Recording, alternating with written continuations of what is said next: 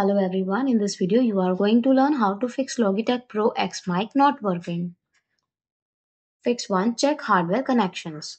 Ensure that the microphone cable is securely connected to the headset. Push the cable in until you hear two clicks. This ensures it is fully seated.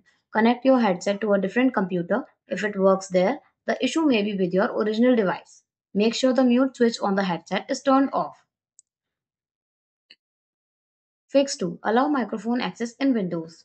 For Windows 11, press the Windows key and type microphone privacy settings, then click on it.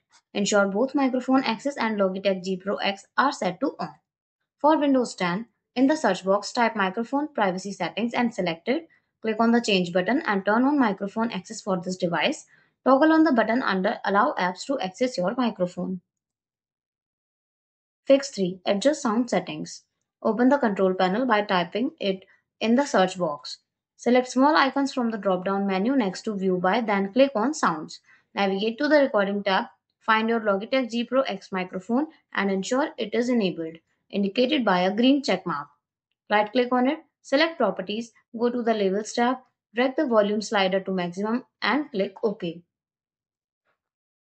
Fix 4. Uninstall and reinstall Logitech G Hub. Press the Windows logo key plus R to open the Run dialog, type appwiz.cpl and press Enter. Find Logitech G Hub, select it and click on Uninstall. Restart your computer. Download the latest version of Logitech G Hub from their website and install it again. Fix 5. Perform hardware troubleshooting. Press Windows plus I to open settings. Click on System. Then select Troubleshoot. Then Other Troubleshooters. Navigate to audio, then select run to run the troubleshooter. Thanks for watching the video. Do like, comment and share our video. Subscribe to our channel and don't forget to hit the bell icon for upcoming videos.